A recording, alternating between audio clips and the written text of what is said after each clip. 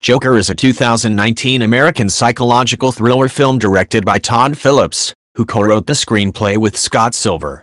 The film, based on DC Comics characters, stars Joaquin Phoenix as the Joker. Distributed by Warner Bros. Pictures, it is intended to launch DC Black, a series of DC-based standalone films. The film, which acts as an origin story for the Joker is set in 1981, and follows Arthur Fleck, a failed stand-up comedian who turns to a life of crime and chaos in Gotham City.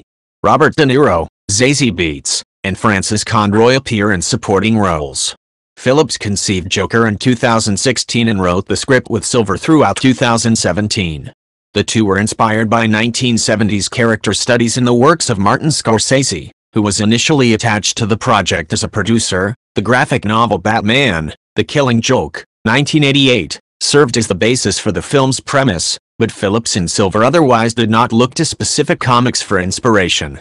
Phoenix became attached to the project in February 2018 and was cast at July, while the majority of the cast signed on by August. Principal photography lasted from September to December 2018 and took place in New York City, Jersey City, and Newark.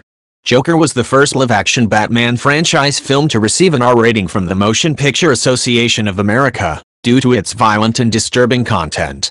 Joker premiered at the 76th Venice International Film Festival on August 31, 2019, where it won the Golden Lion, the festival's highest prize. It is scheduled to be theatrically released in the United States on October 4, 2019. The film received positive reviews from critics, with particular praise for Phoenix's performance.